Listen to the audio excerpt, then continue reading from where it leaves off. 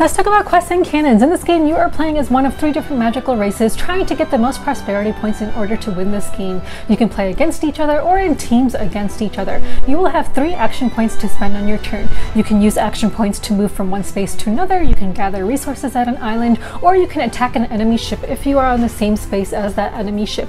You will be keeping track of everything on your own shipboard. You will be keeping track of resources that you have gathered, how much ammo you have in order to attack ships, and how many sails you have in order to further your movement if you use your action points to move from one space to another. You will be trying to complete quest cards in order to get prosperity points. There are map clues which you will be trying to complete in order to get prosperity points, and you will be gathering loot along the way in order to help you. There are different locations on the board you can go to, such as trading posts and outposts, where you can do some trading or repair your ship or get more ammo.